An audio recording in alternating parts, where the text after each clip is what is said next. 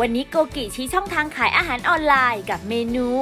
Cajun Crispy Strips กรอบอร่อยทำกินเองได้ทำขายออนไลน์ก็ดี ใส่แป้งสำเร็จรูปสำหรับทำไก่ Cajun ตราโกกิลงในภาชนะเตรียมไว้ค่ะ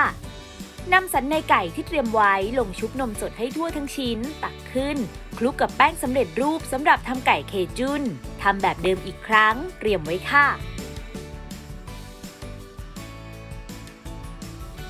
นำสันในไก่ลงทอดในน้ำมันพืชที่อุ่นไว้ ทอดจนสุกเหลืองกรอบ ตักขึ้นพักให้เสด็จน้ำมัน